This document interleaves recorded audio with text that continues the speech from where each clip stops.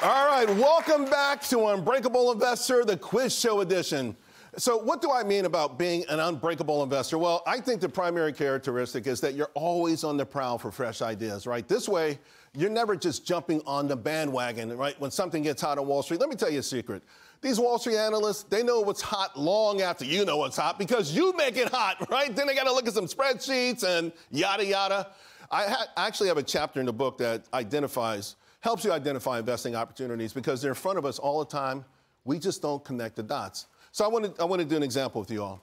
Let's just say you, you read an article uh, t- t- this morning while you were having breakfast, and it told you that there were 284 million used cars on the road with an average age of 12 and a half years.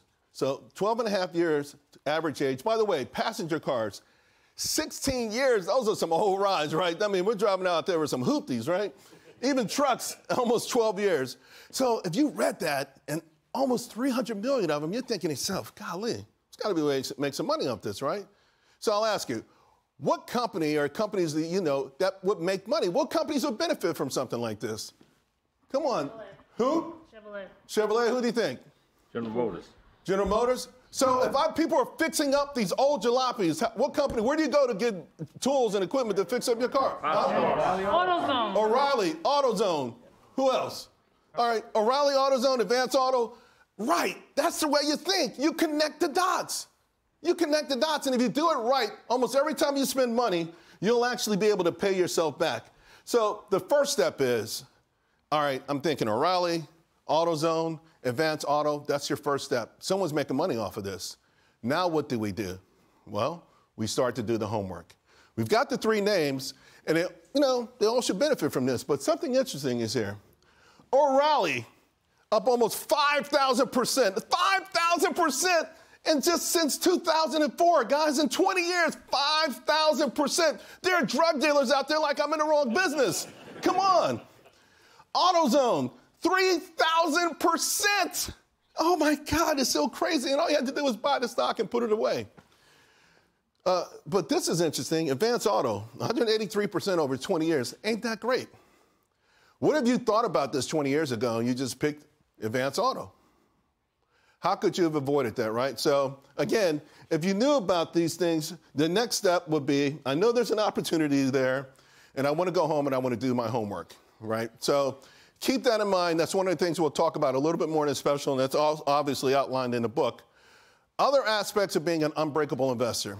Well, let's talk about some of them. Stay in the market through the ups and downs. You know, they have all these surveys and they read them to you every time you think you could do it on your own. Well, history shows that retail investors always lose money.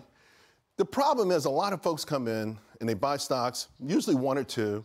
The market goes down and they sell. Statistically, you become a statistic. You have to ride the waves up and down. And we know life has ups and downs. Of course, the stock market's going to have ups and downs. If you have a bad day, you don't check out, you wait for the next day, right? Committed to adding fresh funds on a steady basis. You must always be adding money. It doesn't mean you always have to be long, but you should always practice putting money into the stock market. Always practice that. See opportunities when the market is pulling back. Where is the big money made when stocks go on sale? It's always interesting when someone walks past a store, you know, uh, it's, it's ear- early fall, there's a sweater in the window, it's 200 bucks. Eh, they don't get it, then they wait. Next year, around February, March, is getting warm, that same sweater is like 120 bucks. People buy it. They'll say, I'll buy it and put it away because they see a value there.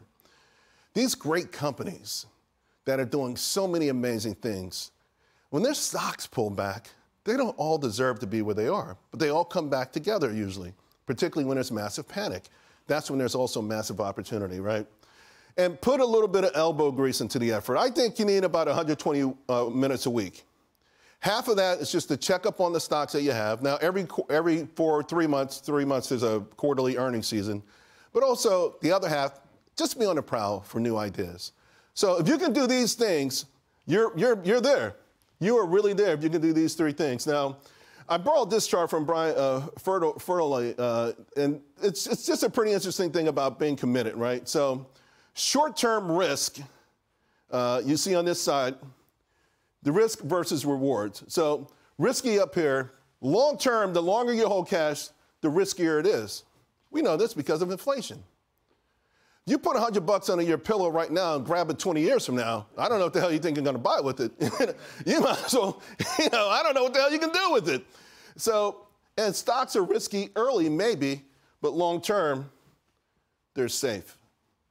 That's if you do the work the right way. That's the way you want to be thinking about this. This is where you make it a lifelong endeavor. Uh, I talked earlier about the sort of ups and downs. These are the crashes. These are the stock market crashes. Look, look at these numbers down 50%, 40, 30. Going back to the 1960, around 1963. This is the crash that I endured, folks, right here. I've been, I dreamed about being a stockbroker since I was 14. I finally got a chance to be a broker. I was doing really well. I was working hard. No one was working harder than me. Back then, we had none of this email stuff. So, like late at night, 10 o'clock at night, I'd be licking envelopes and stuffing them and stuff and calling people all day long. And I'm doing pretty good. 1987 comes, right? Oh my God. Now, before that, the market was killing it, right? It had a five year period where it went up 250%. So I'm new to the business. I'm like everyone else. I think market stocks only go up. you know, it's like, oh, this is easy. Huh? I come in, Black Monday, the worst single day in the history of the stock market, down 22.6%. Halfway through the day, I admit, I went to a bar. I ain't joking. I, so 4.30 rolls around, I'm walking back to the office, and people are walking out like, I'm like, how bad was it? Um, I, thought, I thought my career was over. This career I dreamed about, I thought it was over. But look how quickly it bounced back. I was calling people up. I thought they'd all be pissed off. Some were, but some weren't. The market comes back, folks. You have to ride these out. One thing that will help you ride them out is to know what you're doing. Knowledge is the key, right? So for me, I like to do several things, right? Uh, I've got what I call my three pillars, right? Fundamental, technical, and behavioral analysis. Fundamentals is critically important, the most important part. The parts you use, I mean, listen, there's anecdotal things you can do. Every industry has its own industry reports that could even give you more insight. There's a lot of ways you can learn about the fundamentals of a company. But to learn, to really, to, again, I mentioned quarterly earnings reports. Part of that are income statements, cash flow statements, and balance sheets, right? Again, you looked at these, uh, you went to the auto parts store, everyone's got an old car, you're going there a lot.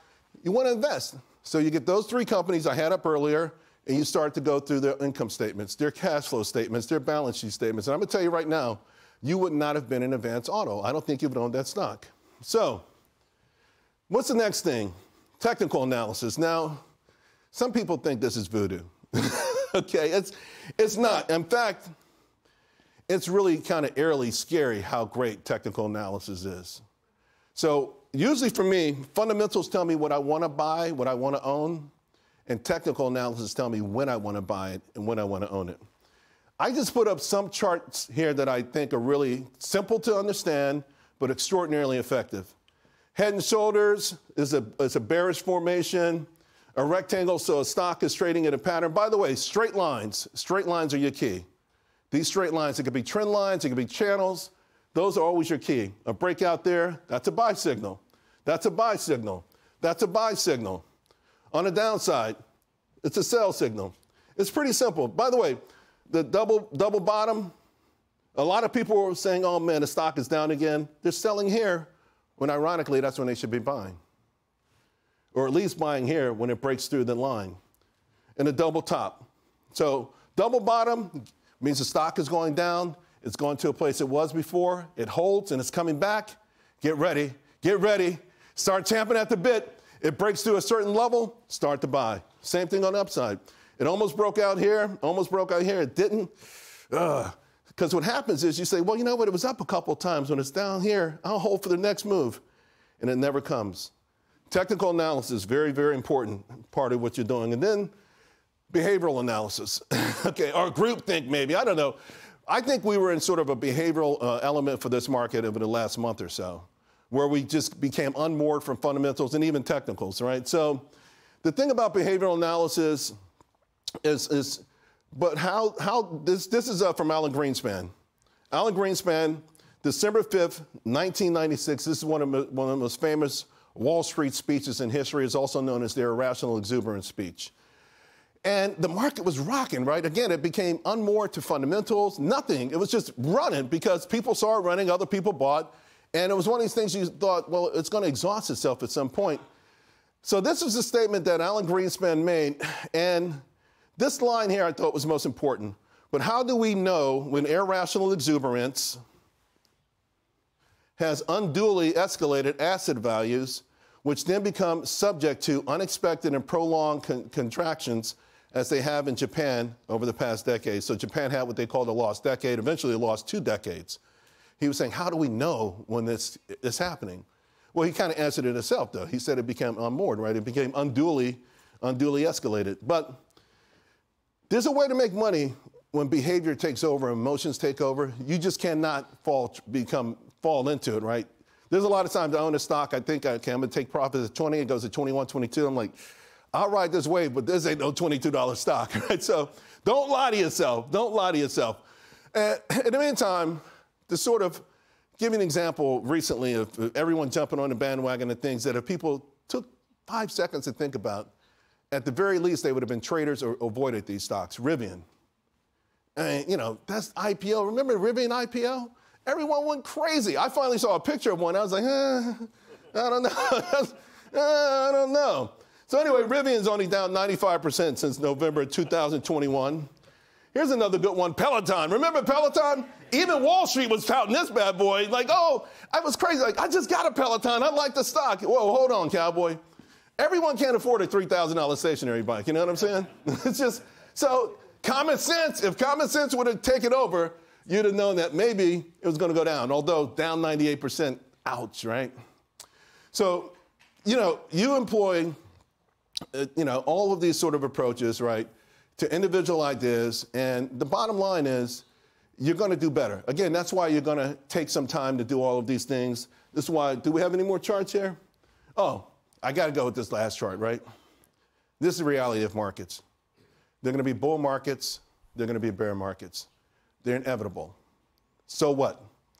Look at the thick lines, look at the thick parts of this, folks, compared to the red parts. Do you endure this little bitty thing to enjoy this? Would you? Would you be okay down 20% in two months to get 400% over the next nine years? Would anyone trade that off? But how many people sold there? How many people? Look at this little sliver. How many people sold there?